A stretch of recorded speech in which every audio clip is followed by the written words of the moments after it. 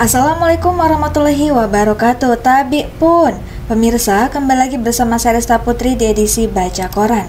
Baik pemirsa, informasi terkini dilansir dari sumek.di.id dengan headline Otak pembunuhan siswi SMP di pemakaman Talang Kerikil terancam 15 tahun penjara Tiga pelaku lain direhabilitasi.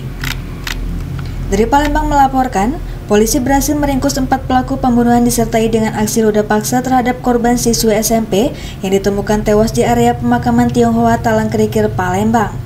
Ungkap kasus pembunuhan keji ini dirilis secara resmi kepada awak media pada Selasa 3 September 2024 malam lalu di Mapores Tabes, Palembang. Keempat tersangka yang masih di bawah umur akan dijerat dengan pasal-pasal terkait pelindungan anak dan pembunuhan berencana. Dengan ancaman hukuman 15 tahun penjara atau denda maksimal 3 miliar rupiah, ujar Kapolrestabes Palembang Kombes Pol Hari Sugihartono SIK, didampingi Direktur Reskrimum Polda Sumsel Kombes Pol Anwar Rekso Wijojo selasa malam. Pihak kepolisian juga telah berkoordinasi dengan keluarga tersangka dan dinas sosial untuk memastikan tanggung jawab mereka. Otak pembunuhan terancam 15 tahun penjara sedangkan tiga pelaku lainnya akan diserahkan ke lembaga penyelenggara kesejahteraan sosial Ogan Ilir dengan waktu yang belum ditentukan ujar Haryo. Diketahui, empat pelaku di bawah umur dengan inisial IS, NSA, MZF, dan ASA. Mereka secara bersama-sama melakukan tindak kejahatan terhadap seorang siswa SMP swasta di Palembang, 13 tahun berinisial AA, yang mayatnya ditemukan di area pemakaman Talang Kerikil, Palembang.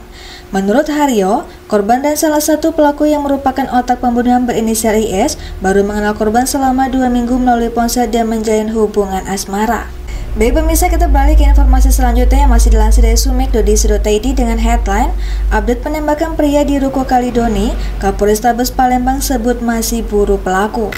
Dari Palembang melaporkan, terkait adanya dugaan keterlibatan bos tempatnya bekerja dalam kasus penembakan yang menewaskan korban Nugroho alias Nunung belum bisa dipastikan karena polisi saat ini masih fokus memburu pelaku utama penembakan. Kapolres Tabes Palembang Kombes Pol Haryo Sugihartono menyebut pihaknya belum bisa memastikan ada tidaknya dugaan keterlibatan bos tempat korban bekerja dalam kasus penembakan di Kalidoni tersebut. Belum ke sana dulu, kita sekarang fokus memburu pelaku penembakan terhadap korban Nunung yang identitasnya sudah diketahui. Anggota di lapangan saat ini tengah bekerja mengungkap kasus ini. Doakan saja dalam waktu dekat pelaku penembakan yang tidak lain rekan sesama profesi dengan korban bisa kita tangkap. Terangnya, Jumat 6 September 2024. Kombes Pol Haryo Sugiartono juga mengatakan belum bisa memastikan apakah dalam kasus ini turut melibatkan orang yang diduga sebagai bos korban dalam dalam dibalik terbunuhnya korban seperti yang disangkakan oleh pihak keluarga. Kami belum dapat memastikannya karena saat ini anggota tengah bekerja memburu pelaku penembakan yang menewaskan korban tersebut. Identitasnya sudah kita kantongi mudah-mudahan saja dalam waktu dekat pelakunya bisa segera ditangkap tarangnya. Dirinya juga membeberkan terkait motif yang diduga menjadi akar terjadinya penembakan tersebut, yang pelaku sakit hati lantaran korban diduga sering menjadi provokator terhadap pekerja lainnya untuk mendesak bos tempat mereka bekerja supaya melakukan kenaikan gaji atau intensif. Pelaku dan korban saling kenal, mereka sama-sama petugas keamanan atau security di salah satu perusahaan developer yang ada di kawasan Kalidoni, Palembang.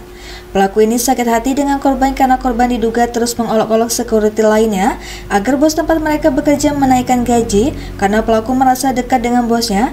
Pelaku pun marah dan terjadilah cekcok antara keduanya sehingga berujung terjadinya penembakan tersebut jelasnya. Intinya, motif sakit hati atas permasalahan pembicaraan yang sebelumnya sudah pernah dibicarakan antara korban dan pelaku. Korban bersama petugas keamanan lainnya diduga selalu ingin minta dinaikkan gaji atau kesejahteraan dari perusahaan bos developer tempat mereka bekerja. Pelaku yang merupakan orang terdekat dengan bosnya ini tidak terima hingga terjadilah hal itu tambahnya. Sementara, tuduhan diduga ada sangkut paut keterlibatan bos tempat korban bekerja sebelumnya sempat dilontarkan oleh Muhida alias Ida 53 tahun, kakak kandung korban Nunung beberapa waktu lalu saat sang adik menjalani proses forensik di RS Bayangkara, Palembang.